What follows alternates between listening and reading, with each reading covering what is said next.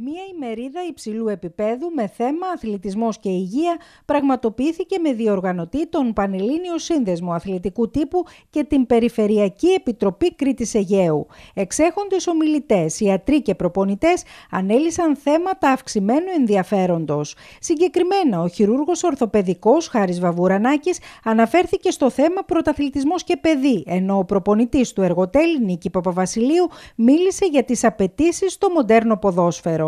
Ο καρδιολόγος Αντώνης Καλογεράκης ενημέρωσε για τον προαθλητικό καρδιολογικό έλεγχο, ενώ ο επιστημονικός διευθυντής της Εμετροπίας Γιάννης Ασλανίδης ανέπτυξε το πολύ ενδιαφέρον θέμα που αφορά σε αθλητές με δυσλεξία και πώς μπορεί να γίνει παρέμβαση. Ο Ομοσπονδιακός Τεχνικός Ποδηλασίας Ατόμων με Αναπηρία Γιώργος Βαρβεράκης στάθηκε στον αθλητισμό ως μέσο κοινωνικοποίησης και εκπαίδευσης μεταξύ αθλητών με αναπηρία και μη, ενώ καθηλωτική ήταν η περιγραφή του Παύλου Αδάμου για τον σοβαρό τραυματισμό που βίωσε 20 χρόνια πριν στις 21 Μαρτίου του 1999 ως ποδοσφαιριστής του Όφη. Ένα αγώνα της ομάδας στην Ελευσίνα συγκρούστηκα με τον ε, τερματοφύλακά μας. Ε, λοιπόν, η αφόρητη. Πηγαίνοντας στο αεροδρόμιο για να πετάξουμε, η πόνη ήταν πάρα πολύ έντονη. Ο γιατρός του αεροδρομίου στο ελληνικό μου είπε ότι όπως με βλέπει δεν πρέπει να πετάξω. Μπήκα λοιπόν στο χειρουργείο, έγινε ό,τι έγινε. Μου είπαν μετά από κάποιες μέρες ότι μου αφαιρέσαν τον νεφρό Όντας πιτσιρικάς δεν με πείραξε καθόλου, του λέω γιατρέ πότε θα ξαναπέξω μπάλα; Μου λέει ο γιατρός, Παύλο, μόλις απέφυγες στο χάρα, ποια μπάλα; Έκανα άλλα χειρουργία, εργατικές, διασωληνωμένο. Μετά λοιπόν από δύο μήνες περίπου ήρθε η μεγάλη στιγμή να βγω από το νοσοκομείο. Το δεύτερο σοκ στον ευαγγελισμό στον πρώτο όροφο που ήμουν υπήρχε έξω μία ζυγαριά. Φεύγοντας λοιπόν, ανεβαίνω στη ζυγαριά και δίνει 42 κιλά.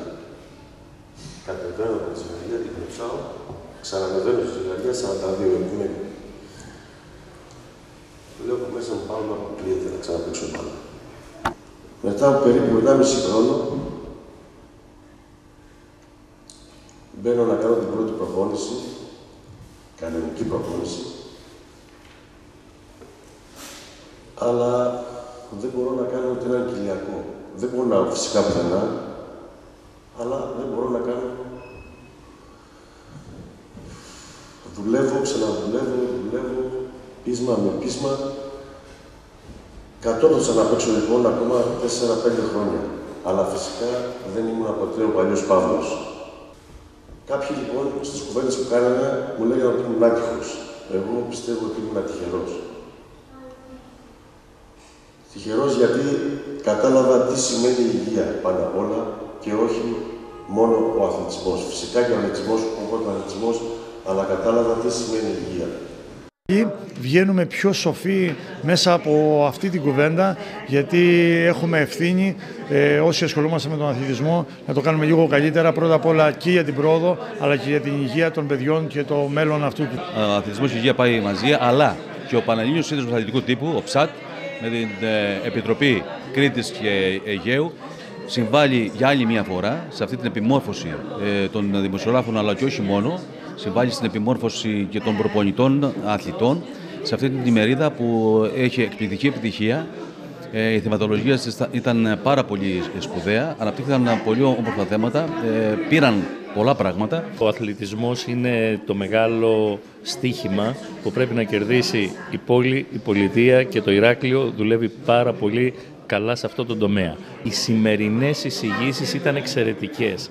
Είναι εισηγήσεις που πρέπει να ξέρει κάθε προπονητής, κάθε γονιός και κάθε αθλητής για να προστατεύσει και να θωρακίσει την υγεία του γιατί ο αθλητισμός κάνει αυτό. Νους υγιής, ενσώματι υγιή. Νομίζω η σημερινή είναι μια από τις καλύτερες, ίσως θα μπορούσα και θα τολμούσα να πω η καλύτερη που έχουμε διοργανώσει ως σήμερα. Ε, οι ομιλητές ήταν ε, πραγματικά εξαιρετικοί και θεωρώ ότι ήταν πάρα πολλά τα μηνύματα τα οποία δώσαμε και θέλαμε πριν να δώσουμε αλλά και πήραν όλοι όσοι την παρακολούθησαν σήμερα.